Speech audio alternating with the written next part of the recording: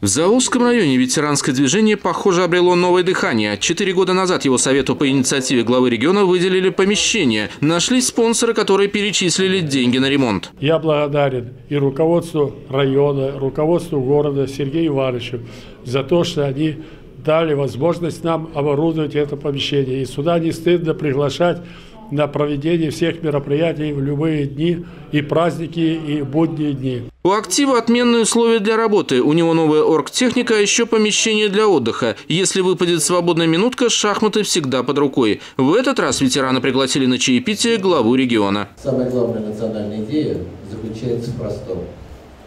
Жила бы страна родная. Или по-другому чтобы каждый с гордостью говорил, я люблю тебя.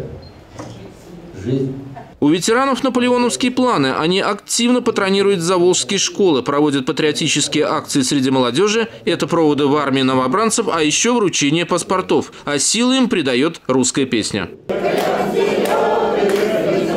Самым активным Сергей Морозов вручил памятные знаки губернатора. Награды пожилым людям достались за участие в праздничном параде по случаю 70-летия Великой Победы.